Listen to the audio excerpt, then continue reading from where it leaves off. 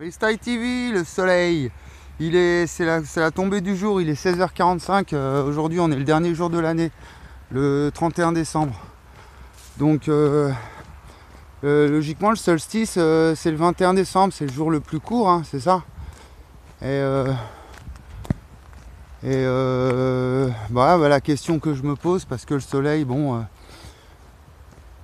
Euh, voilà, on s'est posé la question l'autre jour avec Cédric, il pensait que le soleil il n'était pas en rotation, on allé vérifier sur internet et le soleil est bien en rotation et tout de suite il s'est interrogé euh, euh, oui, est-ce qu'on connaît la cause de cette rotation tout de suite Donc sans trop connaître, je vois bien que je suis dans l'air du temps et que les jeunes ils s'interrogent bon spontanément, bon lui il est dans la 5 dimensions. Euh, Bref, on va parler d'autre d'autre chose. Euh, c'est la première vidéo que je fais, donc aujourd'hui j'ai pas été prêt, Déjà, il a fallu que je me décide à publier les vidéos d'hier. Et euh, voilà, parce que hier ça a été une journée où j'ai beaucoup, j'ai fait 2-3 heures de vidéos et euh, où je suis revenu vraiment euh, sur mon historique. hein. J'ai vu que je, parlais un peu de moi, donc voilà, comme ça au moins c'est fait. J'ai fait un espèce d'historique et euh, puis c'est pour euh, je, suis- très anxieux, hein, comme j'ai reçu encore des, menaces explicites hein, de, me faire dégager par la force. hein. Donc, euh, euh, donc là, je suis prêt. Du coup, j'attends les armes en fait, vraiment qu'on me sorte avec les armes. Donc du coup, je suis un peu anxieux et j'utilise le, parce que j'ai lu les conditions générales de vente. Il y a des voitures de YouTube ou de les conditions. Je sais pas comment j'ai eu une notification ou quoi, une mise à jour.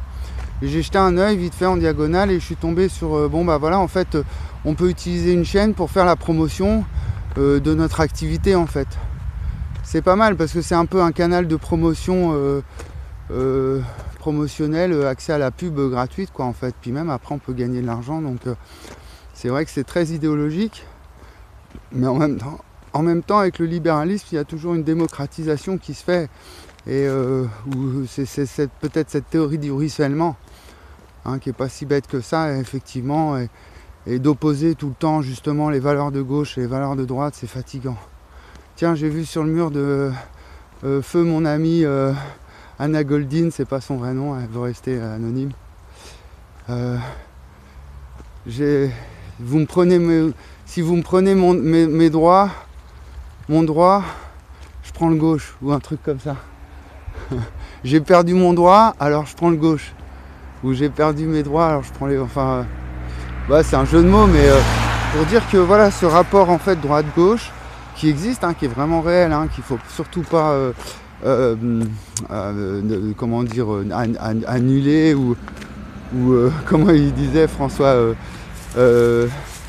atomiser la gauche. non, lui, il atomise la gauche et la droite. Atomiser. C'est-à-dire qu'il ne faut pas chercher à, à faire disparaître hein, ce clivage de droit, il est bien réel, mais euh, ne pas en faire non plus un dogme euh, euh, pour rester sur ses positions comme un con. hein. Mais, vraiment percevoir le phénomène hein, de, manière bah, phénoménologique en fait. hein, et, du coup, voilà. Et, en fait, c'est quoi le problème? C'est que là, en fait, moi, je, je me mets en position depuis 10 ans déjà. J'écrivais il y a 10 ans euh, aux juges, à la justice française, quoi, hein, où je leur disais, bon, euh, moi, voilà, je fais de la désobéissance civile, hein, par action non violente, bon, à visage découvert. Et puis, euh, quand on me cuisine un peu, que je suis un peu pris euh, au pied du mur, je rajoute aussi, bon, bah oui, c'est vrai que j'ai j'ai un penchant délinquant aussi parce que c'est notre société, notre monde moderne aussi. Bon, c'est. Enfin voilà, forcément. Donc non, pas forcément, mais bon quand même. hein, quand on est dans un monde corrompu ou même au gouvernement, partout, partout, tout le monde euh, fraude, euh, ne respecte plus rien. Bon ben, euh, pourquoi? Bon, il faudrait me mettre sur le dos justement mes, mes dérives, alors que c'est un peu un, phénomène généralisé, quoi. Donc mais en même temps ça, n'excuse pas. Par contre, bon, ce qui est intéressant, c'est c'est après, c'est les, les solutions que je propose. Alors c'est là où on revient sur YouTube. Et euh, où en fait, plutôt que bon ma philo, voilà, hein, après je peux faire des cours universitaires si vraiment je veux, la faire bien. vaut mieux que j'arrive à, rentrer en dialogue avec l'université. Et, du coup, utiliser YouTube plutôt. Ah bah tiens, celle-là, je l'ai jamais fait. Pour euh, faire la promotion de, l'activité que je voulais lancer, là où je me suis tout fait voler. Et en fait, où ils m'ont poussé cet été, maintenant ça me revient à, clôturer ma, mon entreprise parce qu'ils m'ont fait des menaces. Ils m'ont dit en fait, vous l'aviez ouverte en touchant le RSA. Je dis oui, mais j'ai jamais rien gagné dessus. Ils m'ont dit oui, mais c'est susceptible d'être. Euh, vous n'aviez pas le droit. Euh, comme ils font la chasse aux fraudes et tout, donc euh, en me disant bah en fait vous devez rembourser, ils m'ont fait une espèce de menace comme ça, logiquement si on respecte la loi, vous devez tout le RSA depuis 5 ans, depuis 2014, vous devez nous rembourser tout le RSA. Donc ils, me l'ont clôturé je crois du coup. Donc c'est encore un truc de plus où on essaye vraiment de me faire taire et de me faire, de me faire voilà, de m'anéantir hein, parce que mes idées elles sont. Donc là voilà, euh, ça c'est un petit bâtiment qui sert à rien, une grange peut-être, il y a un tracteur dedans ou quelques stocks de tuyaux des fois, des choses comme ça un peu inutiles. Et euh, bon bah elle est posée au milieu des champs, hein. là on voit il y a de la luzerne, au fond il y a des vaches un peu, il y a des pommiers tout autour, un peu plus loin une ferme, une ferme, euh, des habitations un petit peu autour, qui sont assez éloignées. Il y a un champ juste à côté qui est très bien il est en fait le propriétaire du champ, il veut pas rien cultiver, il n'y a que de l'herbe, c'est vraiment, il n'y a rien dedans, pas d'amendement, rien. Il est super bien irrigué parce qu'il y a un petit canal au-dessus qui s'ouvre euh, l'été, donc euh, du coup il prend le soleil et ils l'ont fauché deux fois même pas dans l'été. Il le, le fauche pas trop justement pour qu'il reste. Euh. Donc voilà, un, bâtiment comme ça, un champ à côté, et l'enjeu, bah voilà, on fait de l'énergie, donc le truc bien isolé, hein, il y a des ouvertures on fait de l'énergie avec, on trie les déchets. Euh, mais comme le pot de confiture, là j'ai trouvé un pot de foie gras dans le. Euh, voilà, où il y avait encore du foie gras à l'intérieur. Il y avait. Bon ben euh, ce genre de petits trucs comme ça, hein, la con. Hein. Et dedans, donc on nettoie les pots en verre, on, fait mais du service de proximité vraiment pour les gens du quartier quoi en fait. Et puis bah du coup c'est là où on peut échanger les légumes, on peut échanger les biens, on peut voilà sans, forcément marchandiser quoi. Le but en fait c'est de se dire euh, on a trouvé la solution réchauffement climatique collectivement donc euh, on arrive à produire à nos autos, à, produire nous-mêmes notre énergie et on décide démocratiquement de la manière dont on va la produire, quelles, quelles énergies on utilise. Et que si on veut continuer à utiliser une chaudière fuel à la rigueur, mais pourquoi pas euh, faire de la cogénération, euh, mais euh, avec du, fuel local, quoi, hein, on peut, euh, pourquoi pas, si vraiment il y a de la place, il y a de la terre, ça peut, pour une agriculture tournante ou quoi, pour amender les sols, eh ben on va planter pendant 2-3 ans un peu de colza ou un peu de tournesol, ou alors du blé pour faire du, du voilà, et puis après on fait de la cogénération avec, ou alors vraiment pour utiliser un tracteur, ou des choses vraiment localisées. Kéro là c'est chez le voisin. Euh, ciblée, quoi, consciente, qu'on fasse ça consciemment, pas dans une logique de, de, et puis euh, productiviste, quoi, mais vraiment dans une logique de maîtrise de l'espace et du temps, quoi, et de compréhension et de. Euh, et puis bon, bah les toits, voilà, les toits, on peut toujours les, faire. il suffit là l'été. il suffit d'une centrale solaire qui fait monter la, température, ça monte vite hein, l'été. Hein. et faire une cogénération vapeur ou quoi, et là on a l'électricité même vapeur. Hein. Donc là, je parle même pas, je parle ni nanotechnologie, ni Tesla, ni. Après, bon, c'est vrai qu'il y a les brevets. Le problème des brevets, euh, le, moteur Pantone, pour moi, c'est un truc, euh, c'est magique. Et je pense qu'il est, encore secret ce moteur parce qu'ils avaient compris, il a été inventé même avant le diesel, il me semble, un moteur Stirling, pardon, Stirling, pas Pantone. Pantone, c'est autre chose, hein, pardon, c'est Stirling. C'est-à-dire qu'il n'y a pas de carburant. Enfin, la carburant, c'est soit le froid, soit le chaud, quoi. Hein. Et je pense qu'il y a quelque chose qu'on n'a pas compris justement dans ce moteur, c'est pour ça qu'il est resté en, retrait. On a compris l'explosion avec euh, justement une entrée, un carburant, comburant, explosion, voilà, et puis oxygène, euh, et, puis déchets, quoi, euh, les fumées. Alors que dans le moteur Pantone, il n'y a pas ce, c'est pas de manière linéaire, c'est de manière vraiment circulaire. C'est-à-dire c'est fermé et on, on ajoute soit du froid, soit du chaud. Euh, en, externe. Et donc ça génère pas de pollution et il n'y a pas besoin d'apporter vraiment à l'intérieur du moteur, il n'y a pas besoin d'apporter un, carburant. Quoi. Le moteur en lui-même, c'est un effet thermodynamique entre le froid et le chaud en fait qui fait tourner le moteur soit dans un sens avec du chaud, soit dans l'autre avec du froid. Et, je pense que cette logique-là, justement du Stirling, elle n'est pas industrialisée. je crois que c'est Philips qui a racheté le, brevet pour faire, euh, pour faire du froid exclusivement. Et, et sinon, ils vendent des petits gadgets, des trucs de démonstration. Voilà, ils en font des tout petits. Là, ils en parlaient dans la conférence là dernièrement. On le met dans le, creux de la main, il se met à tourner tout seul parce qu'il capte la chaleur de notre corps. Nous, on produit 100 watts thermiques. Donc voilà, donc ce, genre de petits trucs, on pourrait justement discuter collectivement dans des endroits conviviaux. Donc là, une petite terrasse ombragée, un bar, un endroit un petit peu, voilà, hein, euh, de rencontre, une petite salle, euh, un peu où on peut faire euh, la convivialité. C'est quoi? C'est du café-théâtre, c'est des choses comme ça. C'est de l'art, de, la culture aussi, hein, une petite bibliothèque, une petite vidéothèque, un centre de prêt. Je sais pas où est Kiro, il n'y a plus de soleil là. Je voulais vous emmener chez. Euh... Kéro, t'es où?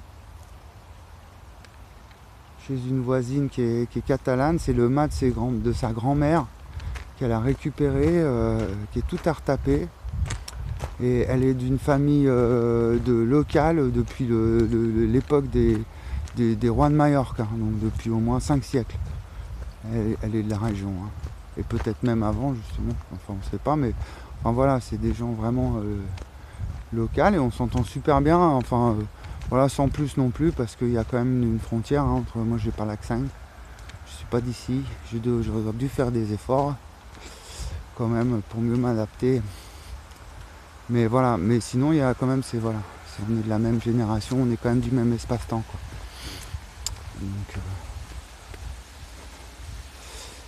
euh, enfin, dans, le sens, voilà. Et euh, voilà, moi j'essaye de donner une sens, un sens à ces grosses euh, centrales hein, qui ont été imposées par. Euh, donc moi j'ai connu, je connais, enfin j'ai compris justement en 2007 hein, toute cette problématique. Il hein, faut qu'il zoome un peu, qu'il améliore le. On la voit plus, elle plus au soleil. Produit. Il y a Eous derrière, qui est encore ensoleillé à cette heure-là. Donc c'est ces centrales solaires qui ont été. Donc c'est vraiment l'État et le capitalisme, l'espace-temps qui se rejoint tout en haut. Il faut imaginer le sommet d'un triangle avec euh, ces deux, deux côtés euh, pouvoir et argent quoi et puis quand on arrive tout au, sommet au niveau de l'intersection bah, ça se mélange et, là c'est vraiment ça c'est total euh, Ténésol en fait qui a acheté voilà et plus avec l'état hein, ils sont partis dans une logique de de, grande, de, production de centrales, voilà, vaut mieux faire des grandes surfaces que répartir tout le monde sa petite centrale de 2 kg. C'était bien, c'était beaucoup plus problématique parce qu'il faut revoir le réseau après ça décentralise tout si chacun produit. Alors que si on reste dans une logique de, centrale, de grosse production, bon bah on ne touche pas au nucléaire, on ne touche pas au réseau actuel quoi. Ça évite de refaire tout le réseau quoi. Euh, donc ça c'est un gros gros gros problème et que j'aurais bien voulu aborder euh, si j'avais réussi à ouvrir le dialogue il y a deux ans de ça avec euh, l'Institut Henri Poincaré. Mais bon je suis pas assez crédible, je sais. Mais je sais qu'ils ont été un peu plébiscités par l'État justement pour euh, bah, c'est pour résoudre P égale NP. En fait c'est pour euh, comment gérer un réseau électrique.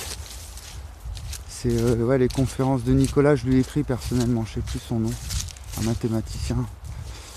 Et comment résoudre les problèmes, gérer un réseau électrique comme ça pour optimiser au maximum, faire un maximum d'économie d'énergie. En fait il se trouve que c'est très difficile en fait à calculer un réseau, la consommation d'un réseau électrique dans son ensemble.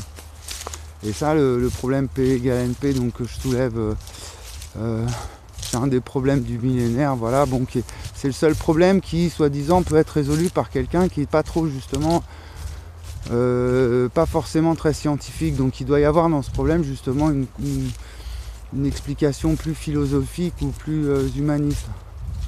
C'est pour ça que je me suis dit que j'étais un peu sur la bonne voie. Donc si on comprend l'électricité, j'ai écrit il n'y a pas longtemps électro, électro, je suis dans un champ de, je parle d'électricité. Oui, parce que tout est électrique. Donc, euh, si on met l'espace-temps au fondement du tout, même le fondement de l'électricité, ça fait l'électricité. L'électricité est au temps, ce que l'espace est au magnétisme, hein, l'électromagnétisme.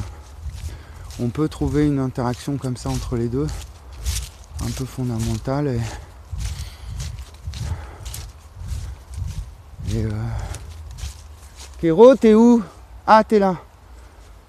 Ah bah ça y est, il m'a repéré. Je crois qu'on va passer chez le voisin qui me sort le fusil, qui me traite de parasite, ça va aller plus vite. Si on va, hein, on va. On passe par là-bas pour aller au Magarigue. T'as mal à l'oreille, hein, mon gros. Bah ouais. T'as mal à l'oreille. Ah ouais. Il s'est battu alors. Il a un bout d'oreille en moins. Bon, allez, on monte. Euh, on reprend en haut de la côte. Ok, on reprend. Je prends un exemple là, tout, simple. C'est le, paysan, il a repris la culture des champs, là, il les a, il les a labourés. Euh, on voit, il, a, il est venu avec un tractopelle dégager un peu le, côté du canal et euh, faire un petit chemin. Et on voit donc il y a plein de. Hein, on voit les, déchets des lagages. Ici on voit bon il y a ce poudrière hein, qui pousse et c'est difficile à entretenir ici niveau lagage parce que ça pousse très vite quoi. Dès qu'il y a du, beaucoup de soleil, beaucoup d'eau, ça. Donc euh, je parlais de cogénération, bah, par exemple le petit donc le petit euh, le casote, enfin la grosse la, ferme, la grange, en pierre qui est en bas, bah, on peut faire une cogénération bois. Hein. Donc euh, réduire les, déchets d'élagage en plaquettes.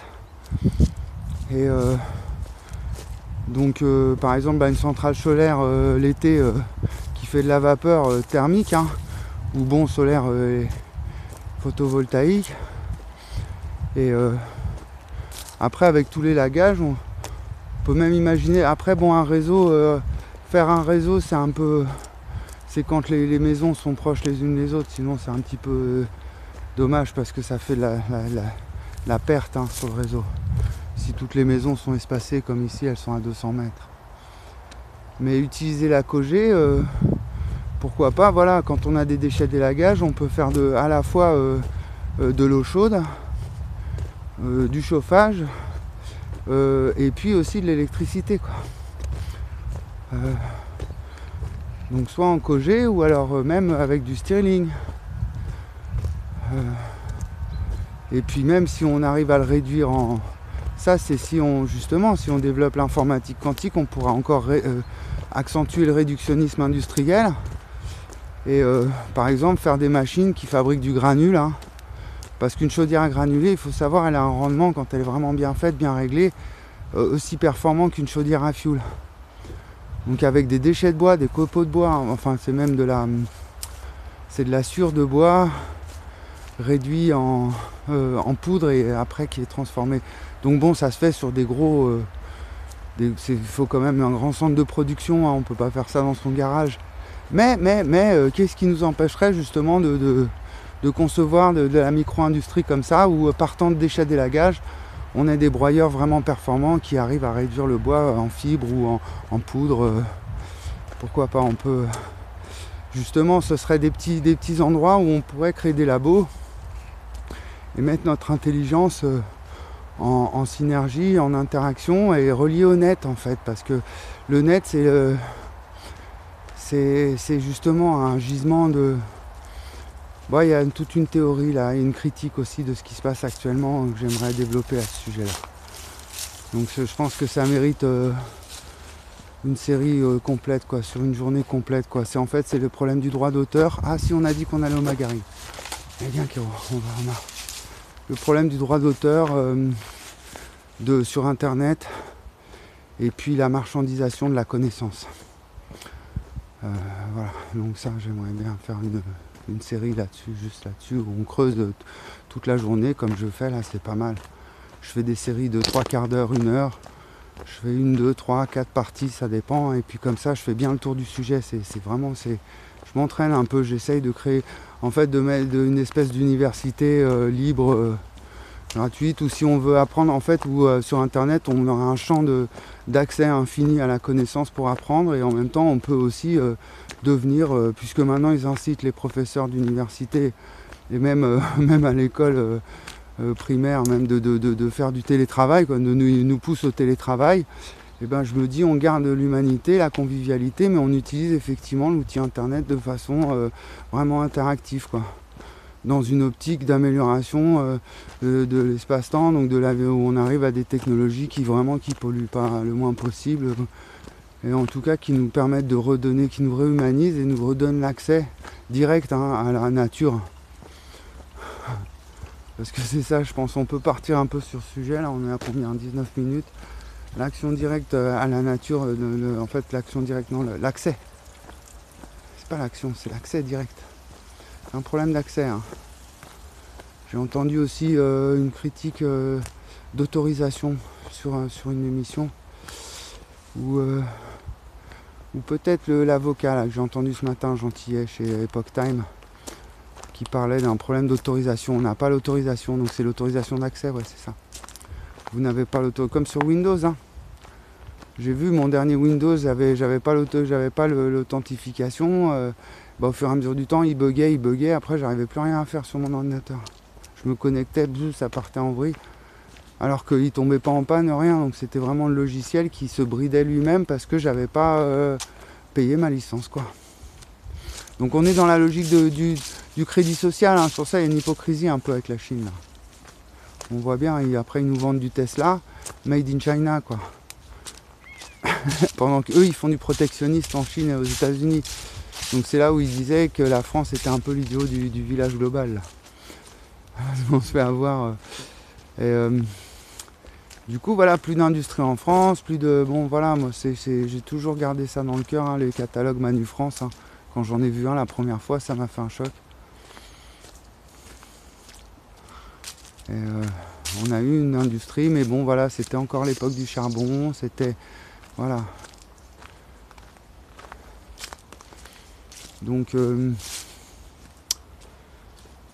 donc là, c'est le 21e siècle, c'est le réchauffement climatique. Voilà, faut se faire un peu. J'ai entendu aussi le concept de hiérarchisation. euh, moi, j'ai appelé ça, enfin, j'appelle ça hiérarchisation des problématiques, mais en, en droit, c'est, euh, je sais plus comment ils appellent ça. Mais je crois que c'était pour expliquer le Conseil constitutionnel, la fonction du Conseil constitutionnel, qui lui-même, euh, justement, décide aussi de, euh, bon, voilà, va valider des lois. Donc euh, Bon, on est en état de. On est, voilà, en fait, là, je me dis, bon, ma stratégie, parce que j'ai dû faire un document mise euh, de la situation, ouais, je sais plus, mise au point de la. si- Euh, là, je me dis, bon, c'est vraiment le dernier carat, on est le 31, je dois me faire expulser lundi, mardi, je sais pas, mais bon, c'est à mon avis, ils vont m'appeler dès lundi matin. Donc, euh, j'ai rendez-vous mardi, non, lundi après-midi avec l'assistante sociale pour me mettre en liste d'attente au foyer Sésame. Donc, c'est pas vraiment la solution que j'attends. Et. euh, moi, l'objectif, c'est d'ouvrir un dialogue avec l'État, tout ça. Donc, l'État, le capitalisme, hein, une banque et puis un, un élu. hein, et puis voilà, un banquier, un élu. Et, et on met carte sur table. Et, ou alors, il faut faire un procès interminable qui va durer des années contre mes proprios, tout ça, les voisins. Bon. Euh, voilà le Magarig. Il est magnifique ce mât, mais il est abandonné depuis plusieurs années. Donc, il y a énormément d'élagage. Il y a le toit un peu là en haut qui piou, on est allé voir l'autre jour là, elle m'a emmené voir. Euh, bon, il y a pas mal de tuiles, qui, de, de poutres qui prennent l'eau. Euh, bon. Ah, il y a de la lumière dedans. Donc il y a quelqu'un. Elle a laissé, ou alors elle a laissé la lumière. Oh, il y a encore tout le tas de bordel et tout. Oh. Ah, oh ils vont cramer. Ah, d'accord. Ah ouais, ils crament direct. hein. C'est pour ça que j'ai un peu du mal à m'entendre avec eux. Donc voilà, moi je travaille pas du tout comme ça, donc je leur avais proposé, euh, elle a laissé la lumière dedans apparemment. Je leur proposé de le faire, je leur avais dit bon euh, là je me fais expulser, voilà, je leur avais dit vous me laissez le. C'est moi qui avais mis une peau là comme ça avec la poubelle. Je dis vous me le laissez un moment et puis euh, en plus elle a remis le jus là, elle a réinstallé l'électricité.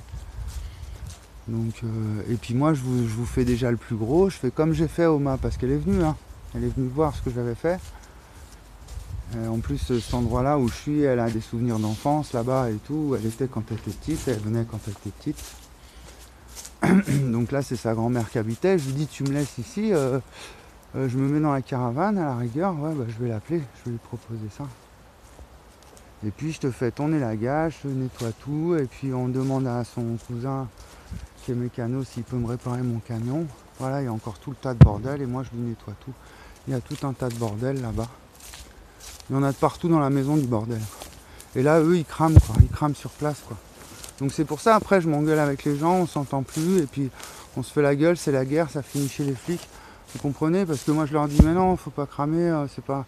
Ouais, mais c'est pareil, on met à la déchetterie, de toute façon, ils balancent un incinérateur, ils font... Bon, moi, je leur dis, mais c'est même, c'est à nous de gérer nous-mêmes nos déchets, on peut trouver des solutions. euh, Bon, peut-être pas les trucs qui sont les D3E, tout ça, c'est un peu compliqué, mais tout le reste... euh, Donc là, moi tout seul, voilà, eux ils n'y arrivent pas. Bon, elle, elle est, après elle a des enfants, c'est une petite famille, c'est une, grande famille même. Il y a le tonton, il y a les, fils qui, sont, qui ont déjà 18-20 ans, donc hop hop hop les gars, on se met au boulot, mais bon, eux ils sont dans des, voilà, les petites fringues, les belles bagnoles, les téléphones portables, ils veulent pas trop se salir, quoi, ils veulent pas trop euh, galérer. Là, il y a une caravane qui a été transformée en. Je voulais la retaper, mais elle a été transformée en poulailler. Mais je suis sûr, euh, on nettoie tout bien propre, karcher et tout, et hop, on lui remet une isolation, c'est reparti. Hein. Elle est bien en plus, elle est grande. Donc beaucoup d'élagage, nettoyage, moi voilà, c'est quelque chose. Euh, mais après même, ça s'arrête pas là. C'est-à-dire qu'après, voilà, je vais voir les ouvertures. Donc là, il faut les fermer, il hein. faut trouver des systèmes de volets fermer les ouvertures. Là-bas, pareil, hein, il faut des volets. Hein. Et la rendre bien étanche à l'air. Parce que là, voilà, ils mettaient des volets ici, mais la porte, non. La porte, elle a une vitre. Et donc là, comme il y a une serre avec aussi qui est abandonnée sur le terrain au-dessus, on, la verra plus tard. Des fois, je la filme dedans. Il y a une serre, donc on peut produire. Ici, pareil, hein, c'est un endroit, il y a un grand hangar euh, derrière, on peut faire de l'énergie. Donc là, par rapport à l'autre euh, L'autre petite grange, bah voilà, on est à 200 mètres. Là, il y en a encore une, tiens, au fond. Hein, hop, ça, on fait une petite centrale énergétique. Ça dépend, hein, ou centre de tri, ou centre de production, de transformation, vu qu'il y a des champs autour. Bon, là, c'est principalement des logements avec un hangar derrière. Donc là où il doit stocker des véhicules ou quoi. Donc là, par exemple, il y a toute une série de logements. Le hangar, on lui attribue une fonction euh, euh, production d'énergie et ça fournit l'énergie pour tous les logements. Donc on peut très, vraiment localiser.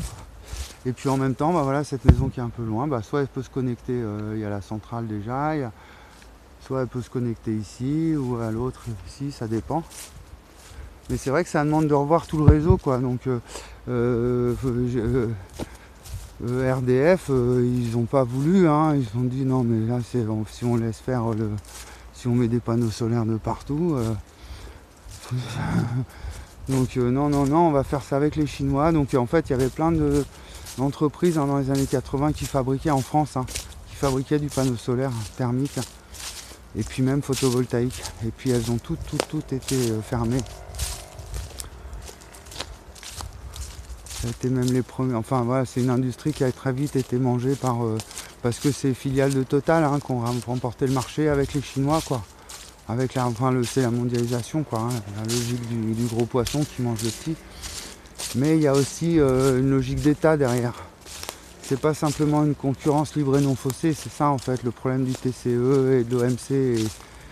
Qu'en fait eux ils, parlent d'une idéologie d'un libéralisme pur sans État parce que c'est leur perfection absolue, quoi, c'est le temps sans l'espace, quoi, quelque part, le capitalisme pur mais que dans la réalité, il n'y a pas de temps sans espace. L'espace, il faut voir ma philo d'hier. Donc du coup, bah, il y a toujours l'État derrière qui vient, qui transforme en fait un libéralisme qui, nous fait croire à l'émancipation et qui se transforme du coup en productivisme pour euh, encaisser les engraisser l'État quoi en fait euh, pour, pour que, pour que l'État devienne plus puissant pour renforcer l'État et plus il a d'argent, plus il a d'armée, plus il a de pouvoir, plus il a d'autorité, plus il prend de la puissance au niveau international. Et du coup, bah, il y a des dérives parce que les politiciens, ça fait venir du coup les, opportunistes, quoi, ceux qui veulent se faire de l'argent facilement, un petit peu quoi. C'est vrai qu'il n'y a rien de plus euh, quand on passe par l'État. Voilà. Donc, euh, donc, donc peut-être voilà toute une, logique de fonctionnement qu'on retrouverait un peu partout. Hein. c'est ça l'intérêt. Ah, on se rapproche de la centrale. C'est ça, c'est qu'en fait, ça, serait un petit peu pour euh, dédiaboliser le truc. Hein. Là, on voit bien. Je l'ai déjà petit Je crois que je suis allé dessous, oui, on était allé voir les. il a essayé de faire un bâtiment un peu dessous, des abris en béton. je sais pas ce qu'il essaye de faire, Planas. Mais il a. Ah ouais, l'air de dire on peut faire des logements là-dessous.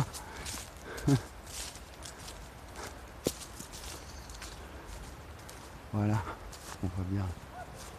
Donc voilà comment trouver une alternative hein, ces, grosses centrales comme ça qui, servent, qui sont réinjectées dans le réseau.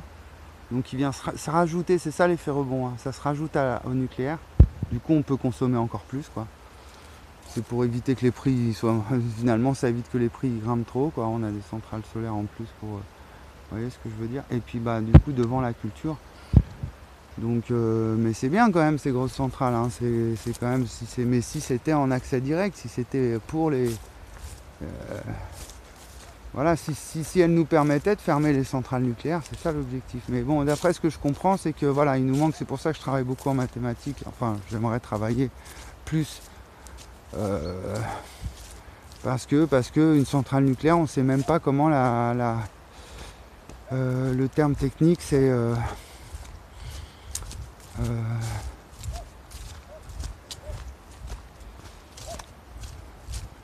c'est pas la neutraliser. Hein. Je, vais faire une pause, je vais essayer de me rappeler. Voilà, c'est vite revenu, la démanteler. Mais en fait, c'est plutôt la neutraliser, c'est comme la neutraliser. C'est-à-dire que comme on ne sait pas déjà neutraliser les déchets, donc euh, la centrale en elle-même, quand on la ferme, on ne sait pas la neutraliser non plus. Hein. Parce qu'elle est irradiée, le cœur est irradié. Donc euh, si on arrive à faire fonctionner l'ordinateur quantique, moi je lance le défi à tous les scientifiques qui m'écoutent.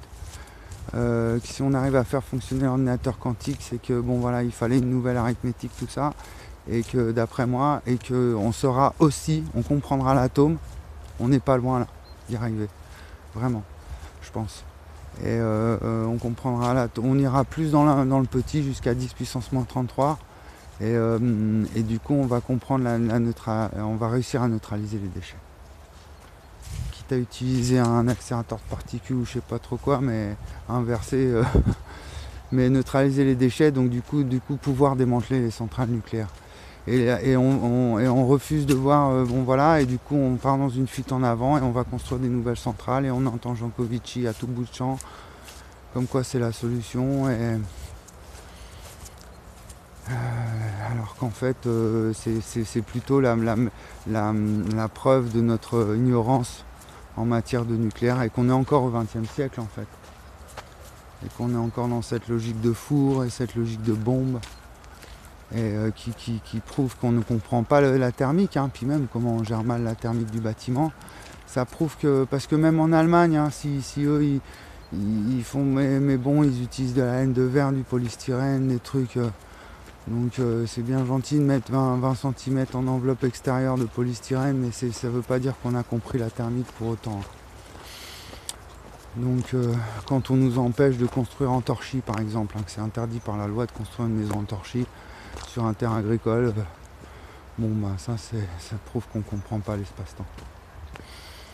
Donc voilà, c'est donc, donc, utiliser YouTube YouTube pour se faire, pas pour se faire la thune, mais pour, euh, pour moi mon objectif c'est vraiment, hein, vraiment que je, me sente plus euh, euh, persécuté comme ça par l'État qui me voit comme un ennemi quoi, parce que j'ai la parole un peu trop facile et que mais bon il faut voir tous les gens qui n'en pensent pas moins, voire pire, hein, beaucoup plus, qui, souffrent encore beaucoup plus que moi, et ont vraiment le démon hein, en eux-mêmes quoi. Et moi je les représente un petit peu tous ces gens qui, qui sont à bout là. Ah, il a encore là le voisin, des bricole dans son garage.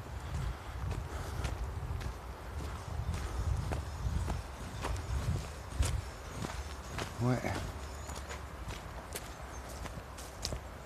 Ouais, voilà, c'est la gueule de notre époque quand on s'est mangé un mur. Du coup, il faut réparer et reprendre la route. Allô Nestlé? Allô Nestlé? Je vous dois combien Ah mais j'ai une flash.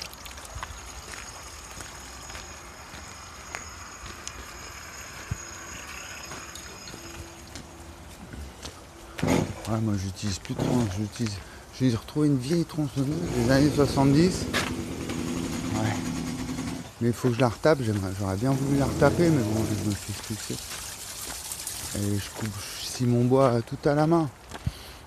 Et en fait, on a tous, et j'ai vu, il y a des tronçonneuses à 100 euros. Bon, j'ai acheté un aspirateur, pareil. Hein.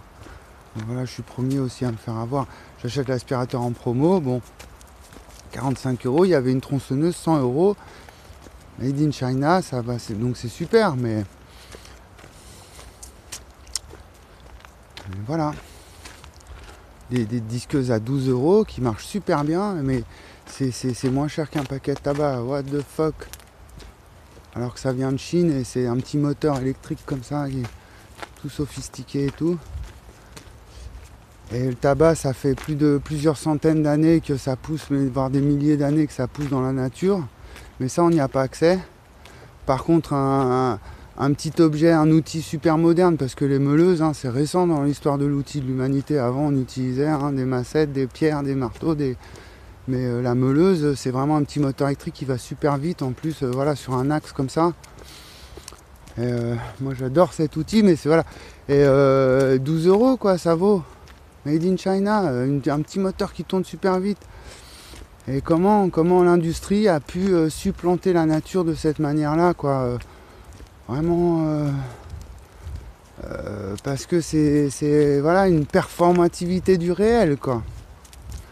C'est notre, rapport au monde avec l'outillage qui, performe, qui, améliore, qui perfectionne, le réel et on en arrive à ce, type d'absurdité quoi où voilà euh, il faut mettre la crotte de son chien dans un sac plastique euh, qui va à l'incinérateur et, euh, il faut acheter du tabac plus cher qu'une disqueuse qui vient de Chine. Alors que le tabac, on plante, ça pousse, et puis voilà, après, ce qui coûte cher, c'est de le raffiner, c'est de le transformer, mais voilà, il y avait du, le tabac, euh, j'étais au lycée, quand j'étais au lycée, il y avait une manufacture de tabac euh, vide à l'époque. Elle était voilà, elle avait fermé depuis déjà dans les années 80 déjà. Elle avait fermé depuis. Bon, il fallait voir les bâtiments quoi. C'était magnifique, hein, énorme. bâtiment des années 30, 40, je sais pas, mais voilà, qui employait des, dizaines et des centaines de personnes sur plusieurs générations peut-être les années 30, les années 20.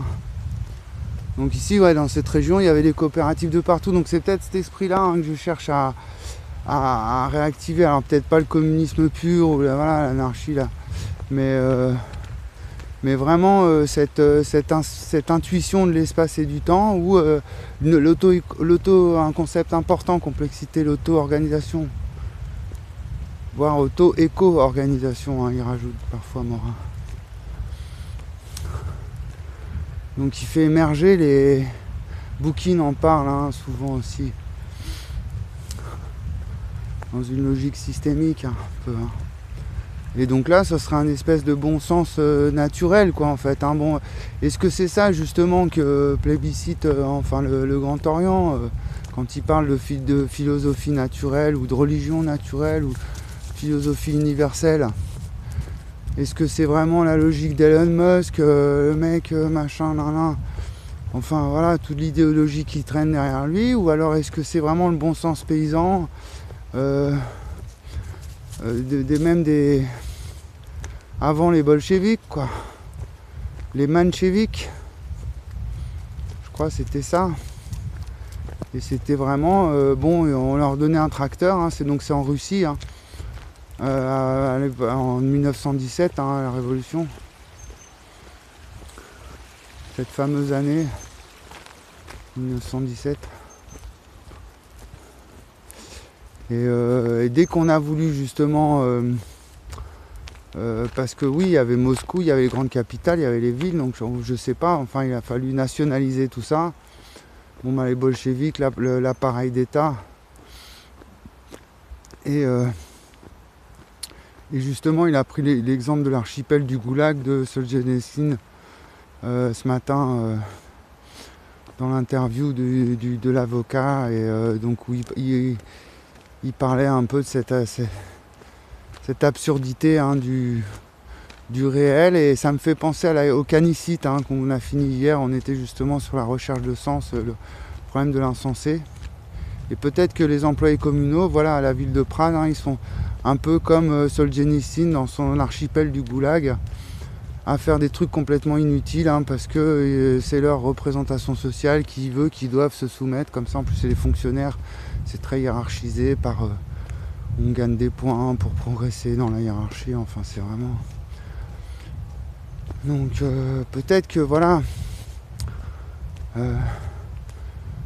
toujours cette logique qu'on retrouve d'exploitation de, de, l'un par l'autre et qui finit par une, espèce de stupidité euh, du réel, une aliénation quoi. Hein. C'est bien ce que dénonçait euh, Marx, hein, mais Marx en 1917 il était plus là quoi. Donc euh, je pense qu'il aurait été là déjà, à, déjà à l'époque il aurait dit hop hop hop hop les bolchos là, détendez-vous. Et puis euh, à l'époque du PCF, peut-être qu'il aurait dit euh, euh, Ah bah finalement c'est pas si mal. On va avoir internet et tout, c'est bien. Donc ils y pensaient pas, hein, tous ces vieux auteurs à internet. Hein. c'est ça que je veux dire aussi, c'est que ils l'avaient pas vu venir un peu, hein, il pas trop. voilà. Est-ce qu'on peut dire que Internet, est-ce qu'on peut parler d'Internet en termes d'aliénation quelque part? Oui, euh, voilà, c'est un monde virtuel euh, complètement. Puis même là, en ce moment, on part dans les métavers. Enfin, c'est déjà des vieux, thèmes hein, de la cybernétique, le rapport au réel, au virtuel. Bon, je ne vais pas partir dans ce domaine parce que ça me, fait, j'ai passé beaucoup de temps à étudier toutes ces, disciplines qui gravitent autour du problème de l'informatique. Et donc là aujourd'hui, bon, j'en suis justement à essayer de concevoir une théorie de l'information avec une théorie des nombres adéquate à celle-ci. Et euh, pour euh, essayer de construire un, espace vectoriel adapté au fonctionnement d'un ordinateur quantique qui intègre le problème de la superposition des états et de la décohérence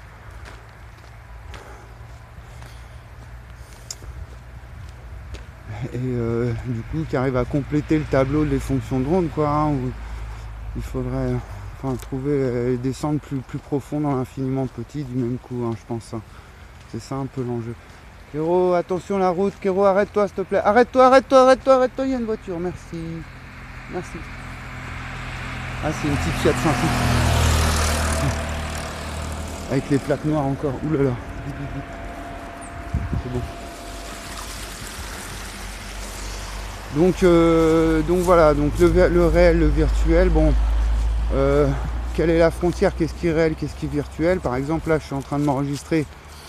Donc là, là le, temps présent euh, où je m'enregistre, on est dans le réel. Et puis, bon, bah, dès que je me le réécoute hein, dans les oreilles dans, dans, 10 minutes ou quoi, ou le lendemain, ou là, on est dans le virtuel. Donc, où est la frontière hein C'est pas vraiment. Est-ce que on dit qu'en philosophie que le, réel ne s'oppose pas au virtuel? C'est le virtuel reste réel, mais il s'oppose à l'actuel. Voilà, c'est ça. Donc là, l'actuel, voilà. Et le différé en fait. Hein. Donc l'actuel est au temps, parce que l'espace est au différé, hein, on peut dire. Donc c'est pour ça que l'actuel n'existe pas vraiment. C'est euh, euh, il faut toujours dès, que je veux exister, enfin si, si, mes propos doivent exister, il faut que je revienne en arrière dans le temps, je fasse opérer la mémoire, hein, moi-même monde, l'axe espace. Je fais intervenir la mémoire et donc là, par le biais du virtuel, je peux accéder à l'actuel. Mais il s'oppose, c'est pas. Et tout ça est réel en fait. Dans les deux cas, ah ouais, on va sauter. Je vais attacher mon. On va traverser le. Hop hop. On va faire un petit exploit sportif. Je vais attacher mon lacet avant, je coupe. Attention, faut que je prenne un peu de recul. 1, 2, 3.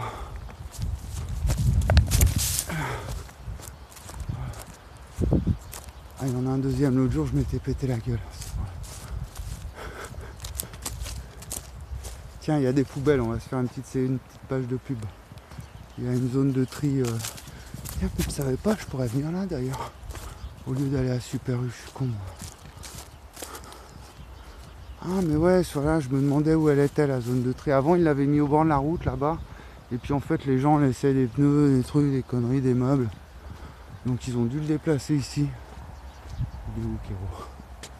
Il est sympa, lui, le marchand de bois. Il est venu me voir l'autre jour. Je crois qu'il m'a laissé son téléphone. En plus, il est cool. Euh, il a planté des petits oliviers là, tout joli. Ils ont deux ans, mais il, en a, il les a trop serrés en fait. Ah oui, il va faire une haie. il veut faire une haie, ça va faire un truc tout carré et tout, c'est pas ça. L'olivier, il a besoin de plus de place et tout pour se développer. Euh, oui, donc voilà. Marcel, il me dit, ouais, c'est chiant les trous comme ça. Donc là, on voit, là, ici, il y aurait toute une. Euh, donc on voit, un hop, avec le crochet. Donc c'est posé là, comme ça, bon. Euh, hein, il y a toute une, toute une, analyse à, faire symbolique, mais bon, moi après, je vais me retrouver avec les mafias sur le dos. Euh, ils vont tomber, ils vont dire, oh, tu veux casser notre business ou quoi là? Tu fais quoi là? Nous, on se fait des millions là avec, nos, les déchets et toi, tu es là, tu veux, tu veux sociabiliser le truc, tu veux que ce soit les gens qui gèrent leurs déchets eux-mêmes là, c'est quoi ce délire? Puis alors, je vais me retrouver avec EDF aussi, hein, le CEA sur le dos, hein, donc chaud chaud les patates. Hein. Si, euh, donc c'est pour ça, hein, je, demande à Étienne Klein de me filer un coup de main, mais bon, il est pas, il a pas l'air euh, trop motivé parce que bon. Donc euh, voilà, par exemple, hein, ça c'est un tout petit centre de, tri de déchets. Euh, bon bah on sociabilise. Donc là, là c'était, on l'a vu d'en haut, hein, c'est un petit, un petit hameau. Euh, derrière au fond ils ont un hangar là on voit. Donc il y a une quinzaine de logements. Et au fond ils ont un hangar. Hein. donc là voilà, ça fait un petit. Genre les voisins comme ça au moins ils apprennent à se connaître. Bon après s'ils s'entendent pas, bah voilà, c'est vrai que c'est pas on peut pas, on n'est pas dans un monde de bisounours, hein. on peut pas tous s'aimer, tous s'entendre comme ça spontanément sur commande. Hein. Ça se fait un peu en affinité quoi. Et encore, ça se fait même plus. Euh. Donc après, euh, voilà, si, si ce qu'il y a, c'est que si on trie euh, localement, euh, ça veut dire qu'on produit aussi localement, c'est ça. C'est que les emballages, on les fait aussi localement. On les fabrique localement. Euh. c'est en fait, c'est le, projet, c'est vraiment diminuer le transport parce que en fait, les deux sources vraiment de pollution euh, de, qui génèrent du CO2 encore aujourd'hui, on arrive vraiment du mal à, descendre, à faire baisser le, taux, de, taux de CO2, c'est le logement et le transport. Enfin, en, 2000, en 2010, c'était encore ça. Hein. 2015, je crois que voilà, le logement, ça se voit. Hein. C'est-à-dire que les gens, en fait, bon, voilà, mettent beaucoup d'énergie dans le chauffage, l'électricité, euh, euh, où ils font du chauffage électrique, ou voilà. Même les appareils ménagers, on consomme de plus en plus. Puis même en allant sur Internet, on utilise donc justement un, Internet qui consomme aussi beaucoup. Et puis bon, bah, le problème de la mondialisation, c'est le problème du transport. Hein. On voit bien les routes, les autoroutes. Euh, le, problème des avions, hein, ou justement pourquoi. Et donc euh, il y a eu donc cet événement en 2020 euh, où le, monde entier quasiment est resté confiné pendant euh, un mois. Et, là il y a eu, ça s'est vu vraiment dans les, dans les graphiques du GIEC, hein, où on voit vraiment une, un, effet. Hein. Comme si aussi à cette époque-là ils avaient voulu faire un test. Si, si, demain tout s'arrête enfin tout, voilà, on, arrête de, produire déjà le transport. C'est surtout le transport. C'est-à-dire que là, c'est un effet, on voit, l'effet du transport. Et de l'industrie, donc par contre l'industrie elle continue de tourner. Donc si, si en plus on, donc on localise le problème à la fois du transport et de l'industrie, bon bah du coup on peut atteindre ce niveau-là de, déconfinement, euh, du déconfinement, mais tout en continuant euh, à vivre normalement, mais par contre avec une mondialisation, euh, euh, mais sans le justement sans la, la, l'hégémonie de la mondialisation. du coup, ce, non pas centraliser le problème, non pas le décentraliser, mais le. Si, ouais, c'est un peu le décentraliser. Mais.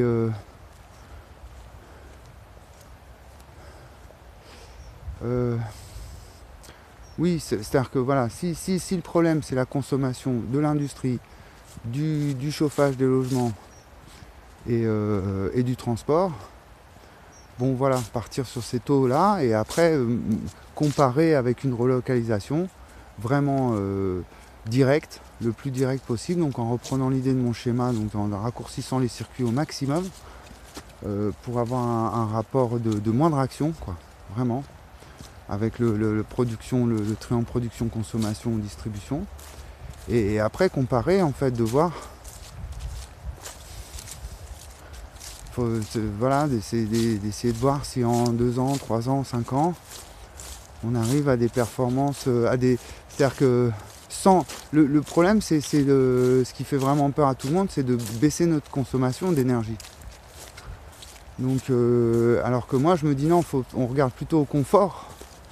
Hein, c'est-à-dire que si, on a une maison qui, consomme beaucoup moins, mais par contre le fait de l'avoir isolé, d'avoir compris le, sens thermique euh, du bâtiment, euh, du, coup d'avoir une maison plus confortable, plus agréable à vivre.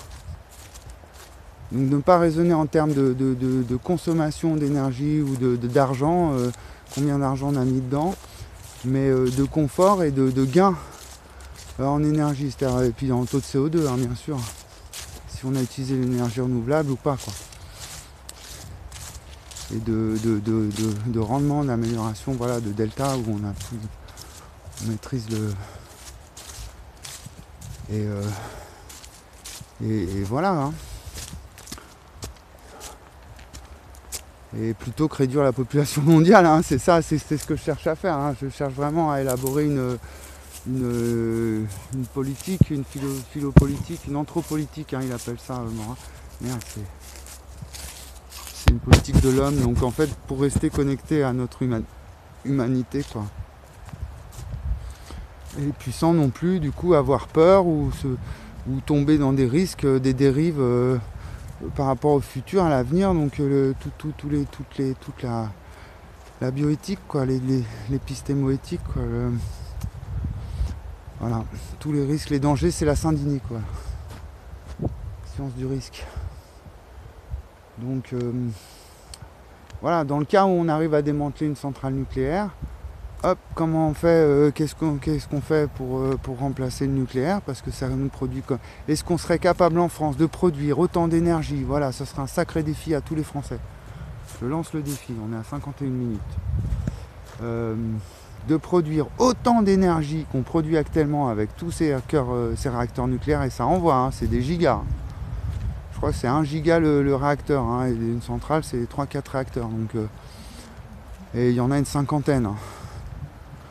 Donc euh, ça fait peut-être 200 gigas, même c'est plus je crois un réacteur. C'est 2 gigas même. Donc euh, je ne sais pas combien on produit rien qu'en nucléaire, mais puis bon après ça se calcule en terawattheure sur l'année, enfin bon mais mais ça demanderait vraiment euh, si on devrait convertir toute cette énergie produite en nucléaire euh, en énergie neutre, hein, donc renouvelable ou vraiment une énergie qui qui pollue pas et donc qui serait fabriquée localement et euh, donc il fournirait de l'énergie à une, industrie et une agriculture, donc secteur secondaire et primaire, et local également, et euh, qui elle-même ne produit pas non plus de déchets donc agricoles, enfin que. Mais voilà, il y a encore les déchets agricoles, euh, il y a les déchets d'industrie. bon, puis voilà, de quelle manière, bon. Mais c'est ça l'enjeu. Et et du coup, ça serait peut-être justement retrouver le bon sens qu'il y avait encore à l'époque dans les années 70 de, de, Manu France, mais sans, euh, euh, sans le charbon, quoi, en fait. Hein. Sans les énergies fossiles, sans le pétrole, euh, sans le gaz, enfin le gaz naturel.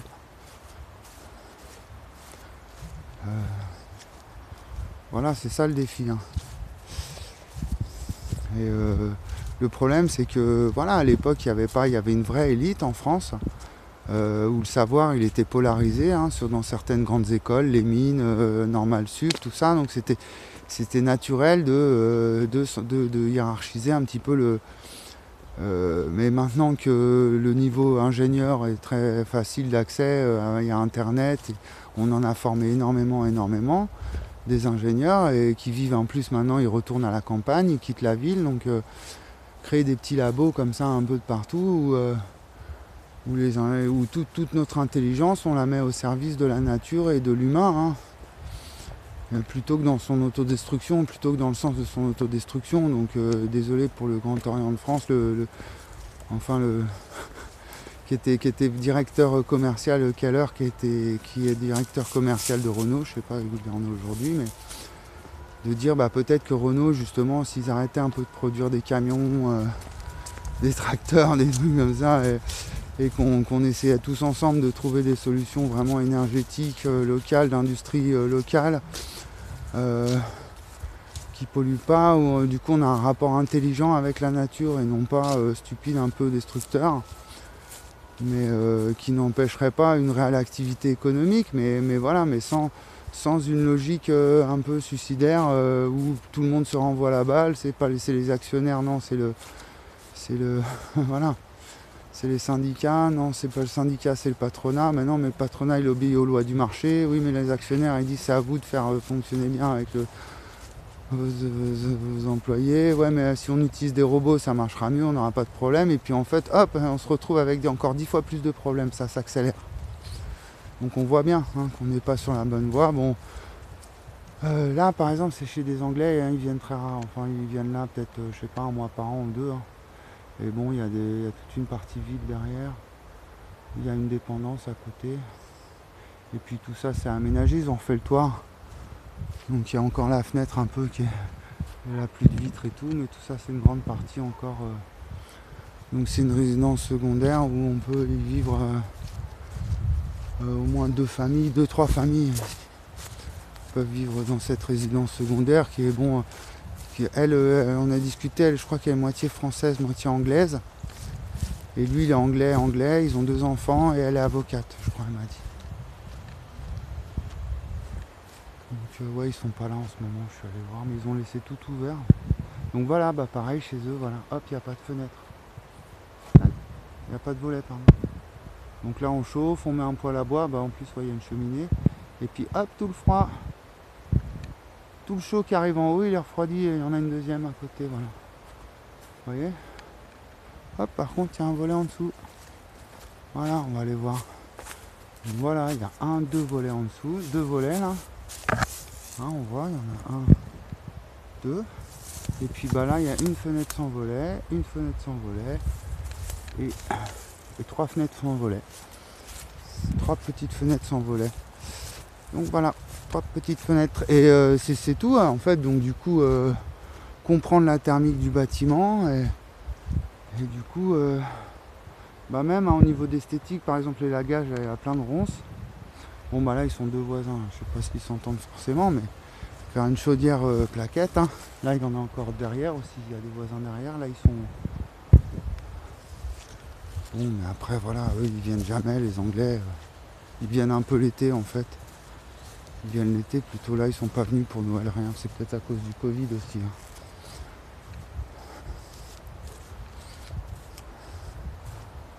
Alors lui, chez lui, il a une clim, euh, deux clims, trois clims. Je crois qu'ils sont deux là même en fait. Hein.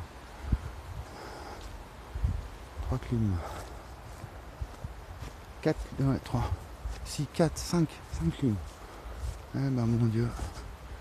Et rien sur le toit, donc pas de douche solaire, euh, pas de. Ici pourtant il y a un gisement. Euh, je sais pas, hein, tous les toits ils vont être équipés d'un saisie, hein, on dit c'est l'eau chaude solaire.